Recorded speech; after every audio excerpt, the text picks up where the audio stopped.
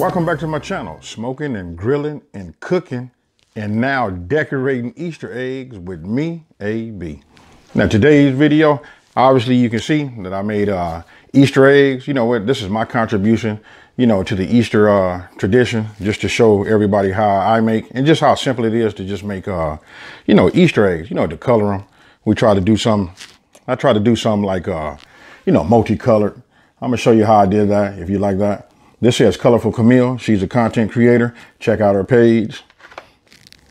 And you know I had to do one of these, smoking and grilling. You know, I mean, just wrote on there, just some fun things that you can do with it.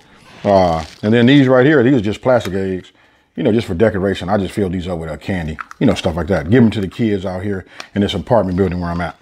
You know, so what I'm gonna do is just show you how I color the eggs, show you how easy it is, show you the setup. So, any, you know, anybody can do it. This is an easy, kid-friendly video. So if you got kids, they want to take a look at a video, you know, have them look at this one. You know what, we can have fun, set them up, take pictures, post up a thumbnail, and get it in. Now listen, I know that I got to get into my rating system. My rating system goes like this from zero to 10, 10 being the most difficult.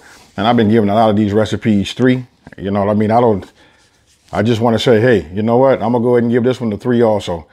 Reason being, because when you boil your eggs, listen, they need to be hard. You know what I mean? So if a kid is following this, uh, it's still, I say they should have some type of uh, supervision using the stove. You know what I mean? Uh, when I put them on the, uh, to make them hard boil, I use a timer. You know, I set my Alexis for 12 minutes, 12 minutes on high. And then once they start boiling, I kind of like tone it back. You know what I mean? I tone it back so they don't crack.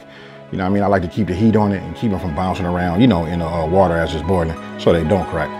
So with no further ado, let's get it in.